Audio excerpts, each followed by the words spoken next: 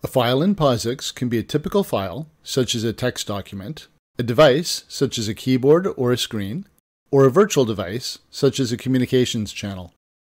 A file descriptor is an integer that refers to a file. Each process has a set of file descriptors, called a file descriptor table, typically stored as an array. The file descriptor is typically an index into the file descriptor table. The file descriptor table holds all the information about each file. Each time a program opens a file, a file descriptor is allocated, and the information about the file is added to the file descriptor table. The information stored in the file descriptor table is operating system dependent. POSIX has three standard file descriptors. The operating system sets up every process to have these first three entries in the file descriptor table. Standard in, which is file descriptor 0, represents the keyboard device. Standard out, which is file descriptor 1, represents the screen. Standard error, which is file descriptor 2, represents the screen. Why do standard out and standard error both represent the screen?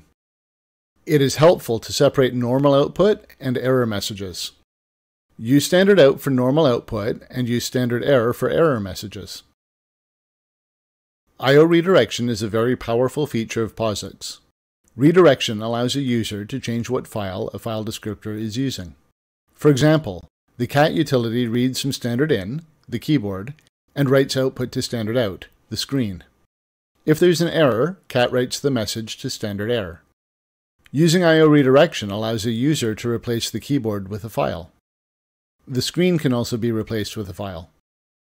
To redirect standard error, you have to specify its file descriptor, 2.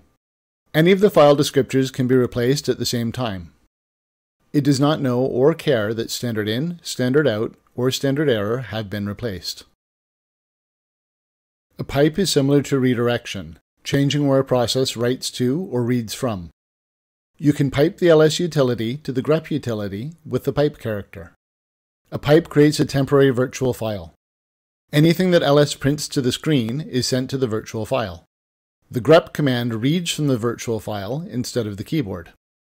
This temporary virtual file is maintained by the operating system and lives only as long as both commands are running.